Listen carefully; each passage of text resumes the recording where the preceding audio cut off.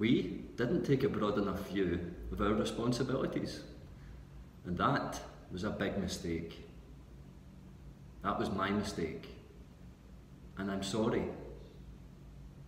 I started CNT. I run it. I'm responsible for what happens here. Would you be comfortable sharing with us the name of the hotel you stayed in last night? Why don't you ask your daughter, Senator? I think that may be what this is all about.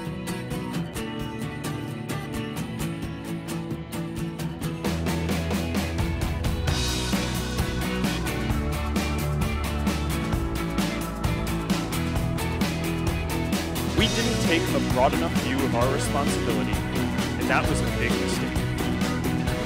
You got a great car. Yeah, what's wrong with it today? I'd be flawed to be president. Well, I think it's a disgrace what's going on. We'll see what happens. It was my mistake, and I'm sorry. Um, Let me set out why we have taken this action. Lock me up, you guys. I have committed a joke crime.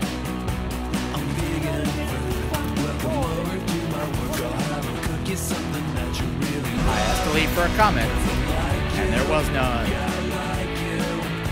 I am not the appropriate person to be discussing this issue. Am I excited?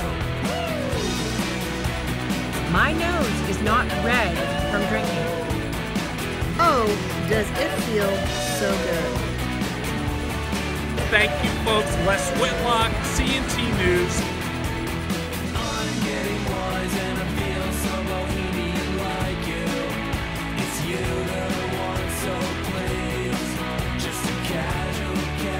I think it might just be your fault, so stop trying to get out of it, you wee ball bag.